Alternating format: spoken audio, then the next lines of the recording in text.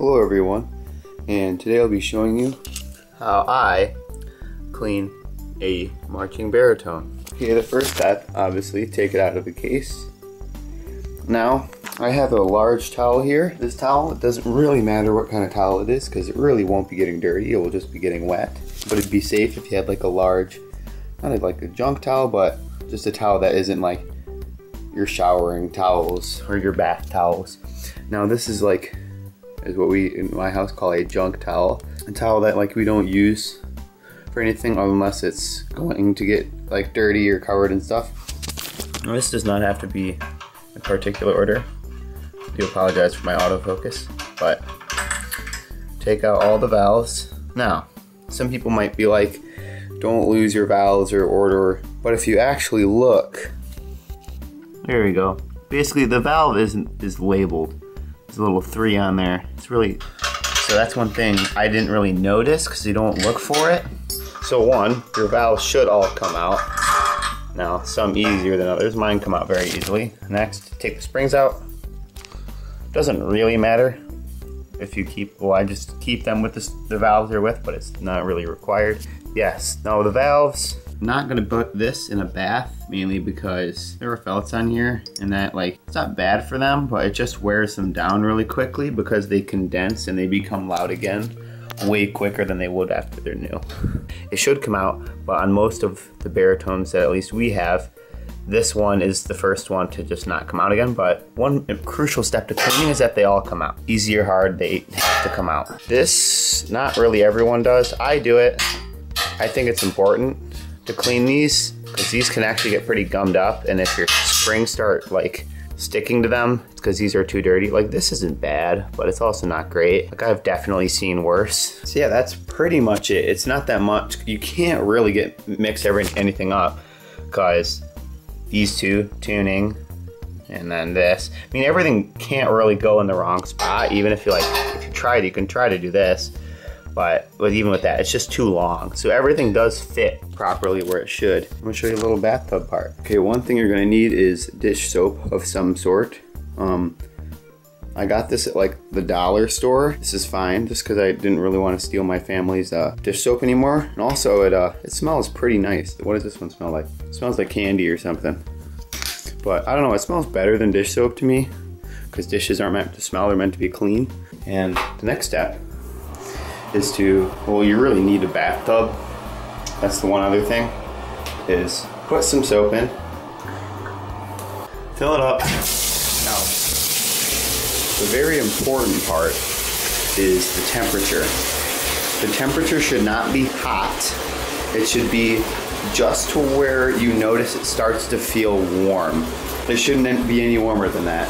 And now, realistically, on most instruments, it's not going to do much, but on a rare occasion, it can make your lacquer look really bad or at worst come off. That's going to start filling up, so we're going to start putting stuff in it. Now a bunch of people say put one of these big towels in the bathtub so it doesn't hit the floor, but realistically it is brass, so it is metal, although not strong, but carefully, carefully setting it down in the bathtub will not hurt it.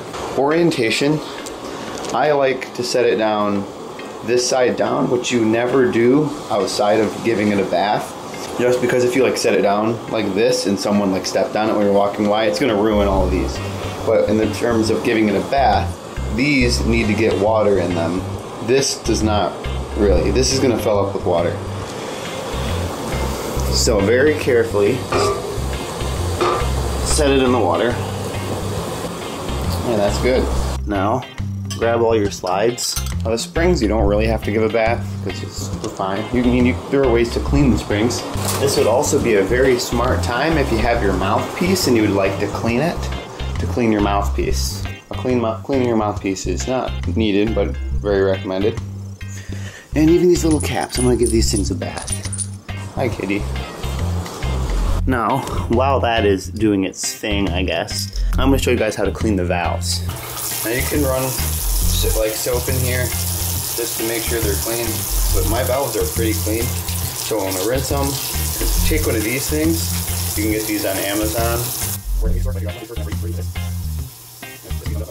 Mine is uh, some does. Thing I noticed is I like to stand them up like this a lot, stand them up a lot, and I notice I knock them over a lot, which isn't like great for them.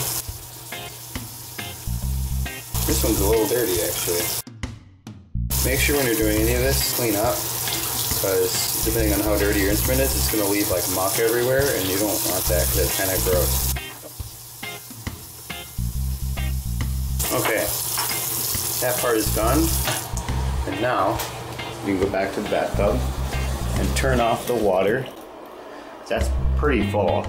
So, again, you don't really have to submerge the whole bell, but I'm, what I want to do is I'm going to flip it over so I just so it can fill with water. Just heard it taking some water. And even then, this is fine because it's actually everything is submerged, so we're good. So let that submerge for I want to say 10 to 15 minutes. Some kid at my school said he did this for 40. I wouldn't like recommend that, but yeah, I'm gonna let that soak and we'll be back. It's been about 10 to 15 minutes. I'm going to spin it a couple of times. Now, I get asked the question occasionally, what way do you spin it? You look at it, the way the tubing goes, if you follow it, follow it backwards. So if the bell goes this way, spin it this way so you're like pouring water out. And you want to like dry it. Bathing instrument is way more important than polishing an instrument. Even if polishing makes it look good, cleaning it makes it feel and look good. And now while I'm drying that, I'm gonna hit the drain so the water can start. All right, make sure to get here because this is like a very a spot forgotten about underneath the bell right there. I know I'm drying. I'm, tr I'm trying to dry this on camera, but I keep forgetting what I'm doing. Take one of these things. I'm going back to these and run it in everything.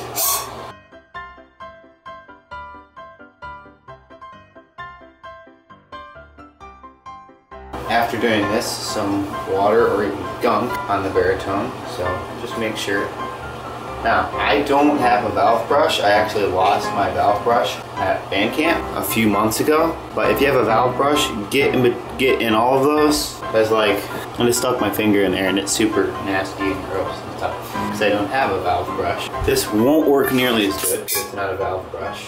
Two of these snakes and put them all together. I'm gonna buy a new valve brush eventually, but this is literally all I can do right now.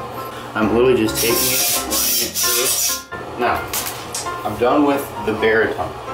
Now all the slides. Run through. I would recommend doing is running water through all of these, snake this out a little bit, and then run water through it, just to make sure. I just ran this through water, a bunch of foggy water come out of here. So foggy water means it's dirty. Now, this is the stuff I use, it's just regular Bach slide grease. Use whatever works best for you. Put them in one at a time. Some of these are easier working than others, like this. Put it in like this and then spin it around.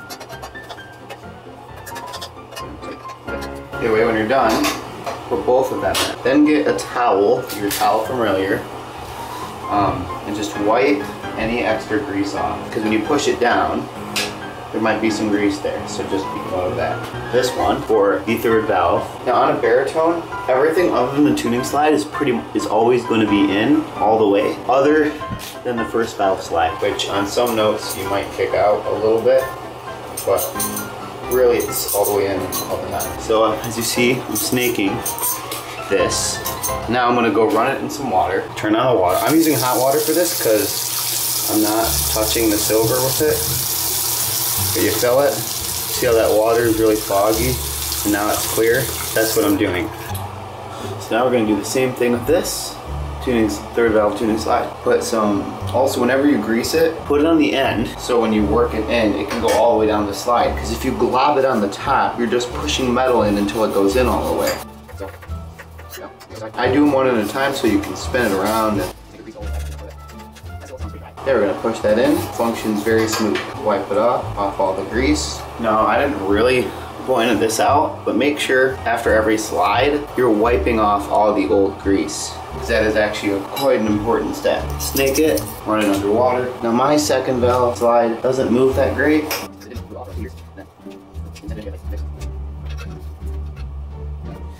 Okay, so now the last slide I'm doing, it doesn't matter what order you do these in, but I just did them in this order because that's the order I picked them up. Again, make sure you wiped off the grease. I already did that. But wipe off all the old grease. Same thing with on the instrument right here. Wipe off all the grease here first. Now taking out the tuning slide might make this a little easier.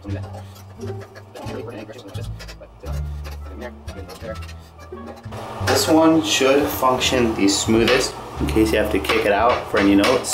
Now these things. I haven't found like a great way to clean them other than literally just like rubbing this thing in it. And these, I didn't mark which one they went in, but they're all identical, so it doesn't really matter. It is ideal that everything on a marching baritone, or any instrument for that matter, that everything comes off when you are cleaning it. Like caps are alright, slides especially, like I would even really recommend cleaning an instrument that much if you have slides that don't come out. Yeah, this one it might be easier to take out that third valve slide, but I think I'm okay. I mean, it's not that hard to do.